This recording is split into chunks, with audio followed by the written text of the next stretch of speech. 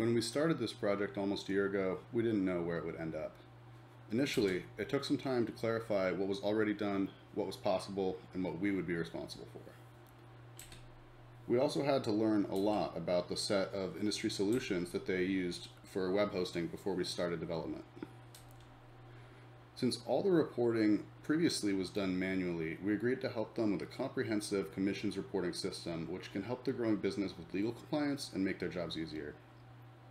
In order to achieve this, we built a reporting plugin that depends on a set of third-party plugins for gathering data and login management.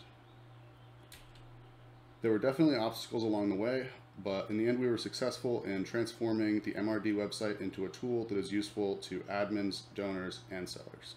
Thank you.